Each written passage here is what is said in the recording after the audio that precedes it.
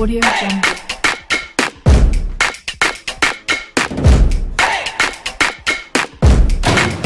Hi, this is Krish here, and I'm your personal life skill coach, and I'm here to help you live your life to the fullest. And I hope you have seen my last two videos how to be a champion and how never to give up. Today, we're going to speak on an interesting topic how to be more effective in your studies, how to have a better memory. Now, there will be a lot of requests from many of my subscribers to have a session on memory techniques. So, today we are going to do that. Now, let me start by asking one simple question How many of you have good memory? How many of you think you're, you don't have good memory, you have bad memory? Now, the fact of the matter is, there's nothing called good memory and bad memory. There's only something called trained memory and untrained memory.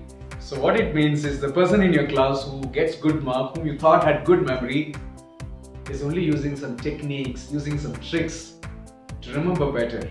And we think that he was having a good memory. So, the best news about this is even you can learn this technique and you can also remember better and good, get good marks. So, today we're going to speak about three aspects on study skills, on how to remember better. Step number one we're going to speak is the concept of ICU.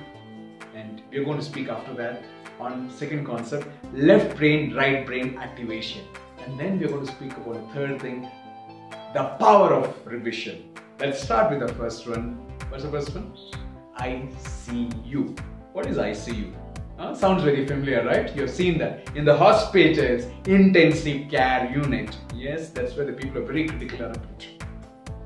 So, even in our studies, if this ICU is not there, then we'll have a critical result on the subject that you're talking about. So, what is this ICU? Let's start with the I. I stands for interest. Interest in the subject that you're studying. You should enjoy the subject that you're studying. If you don't enjoy, why waste your time? Because if you're going to sit with a book which you don't like, what do you think is going to happen? It's like going on a boat in a stream, and the stream is coming in this direction, going against the stream. There's more friction, a lot of energy is wasted. That is not efficiency.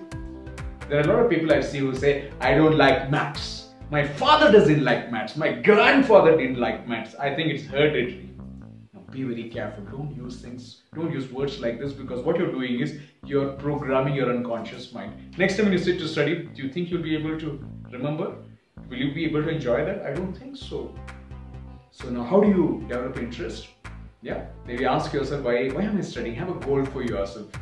Understand because this subject you have to study, you don't have a choice, it's part of the curriculum. So anyway you have to study, it's best that we enjoy that.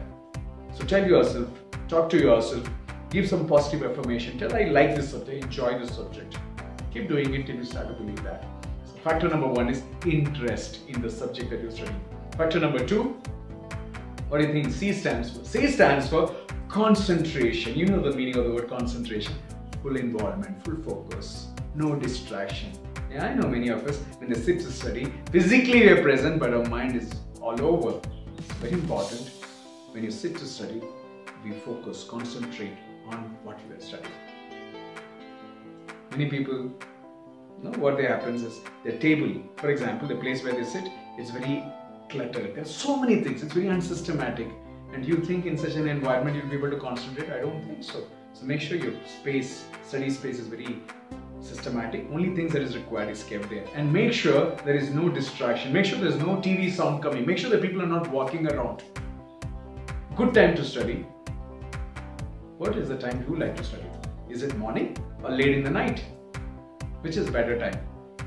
There's nothing called better time, either morning or night. Whichever time your biorhythm, your biological clock favors you, you should go with that. If you like morning, then you prefer to study in the morning. Or if it's late night, you prefer to you study in the late night. The best thing about both these times is there's less distraction because all people are sleeping and there is no TV sound. It helps you to concentrate better. One more technique you could use to improve your concentration is it's a simple technique. You could try this. Keep a candle, maybe 5 feet from where you are sitting, and uh, concentrate on the flame. Say for 10 minutes every day, for 10 to 20 days, you keep doing this, and then when you sit to study, you'll realize you're actually able to concentrate. The alpha brain, wave brain, no? they are called different kinds of vibrations. It goes into that state, theta stage, where you're able to concentrate better. So, this one simple technique, the candle flame observing technique you could use. What is the second thing? Second thing is concentration. And what is the third thing? Now we're going to speak about the third thing starts with the letter U. Understanding what you study. Unfortunately today many people just by heart mug up and they vomit an exam. Yeah, maybe you might get some good marks this exam, but let me tell you in the long run it won't help you. Tomorrow when you're writing the main exam or tomorrow when you're doing some practical application, you, it won't help you because you won't remember it. So what should we do? When you sit to study, understand the concept. Understand the essence of what it is. So for example, you're reading a paragraph. The paragraph might be big. So all those words which is there in the paragraph are not very important things. Those must be the English fillers, grammars, the essence, the key thing that you need to find out. Ask yourself, what is the main thing? Maybe in a pencil, once you understand, jot it down somewhere. Have a framework. Ask yourself, how can I apply it? Where can I apply it what I'm studying? When you ask this question, you tend to understand better. I'm going to share another technique to help you understand better. I've tried it, I've shared it with many people, and they're told it's very powerful. Simple yet powerful. Please try it and give me your feedback. The third technique, the other technique that about which will help you to understand better is when you sit to study, don't study just for exam. Think you are a teacher who's going to take class on that subject, on that matter. Then what happens is knowledge will be more deeper. You will have more understanding since you have to take class. And it's good if you can teach what you've learned with your friends, with your roommates. This also helps you to understand better. I'm sure all of you have experienced it. I'm just giving a, reconfirmation try understand what you study will definitely help you to remember better. So that was ICU, interest, concentration, understanding. And the second technique that you want to speak about is left brain, right brain activation. I'm sure all of us have studied in our biology that our brain has a left brain and a right brain. Yes? What does the left brain do? Yes, that's a logic brain. What does the right brain do? Yes, that is the artist, that's the creator, that's the visualizer, that's the one which sees color. See, if I have a bike and my bike has a left engine and a right engine, if I'm going to use only my left engine, remember my productivity is only 50%. But if I can use both these engines, my efficiency is going to be full throttle. So how do you use left brain and right brain? When you sit to study, use color pens, use fluorescent marker pens. Mark, make sure you put a lot of colors. Right brain gets activated. Draw some figures, draw some sketches. Visualize, imagine, use mind map mind map is a very powerful technique it's simple yet powerful technique which helps you to use both left and right brain so these are little techniques you can use to make sure that you are getting more efficiency using left and right brain and the third thing that i wanted to share with you is the power of let me ask you another question what's the weight of your brain what's the weight of your brain yes it's around 3 pounds around 1.5 kg Now I'm going to ask this question one more time. What's the weight of the brain? Then you'll say, Krish, I know it's only 1.5 kg, 3 pounds. You just said it. Yes, how you remember? Because every time a brain learns something, it creates a neural pathway. It's like a spider web. A fine little spider web is created. Every new information that you get, a spider web is created. But what happens is, at this moment, my efficiency I remember almost 80%, but after 24 hours it drops to almost 40%. After 48, it becomes 48 hours, it becomes around 20%. That's how the brain works.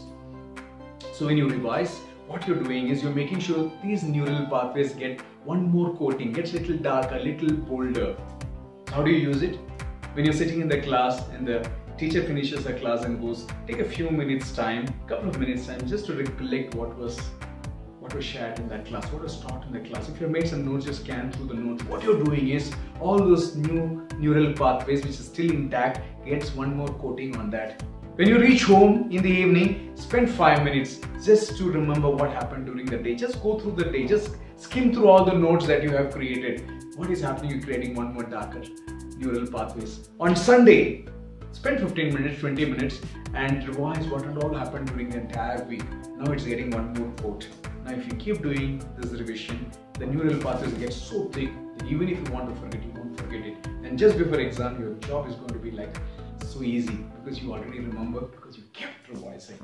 So these are some of the techniques. So let me just rewind. We have spoken about there's nothing called good memory, bad memory. There's something called trained memory and untrained memory. Then we spoke about the concept called ICU, interest, concentration, and understanding. And then we just spoke about the power of revising. Every time you revise, it gets a little thicker and bolder and darker. You won't forget it.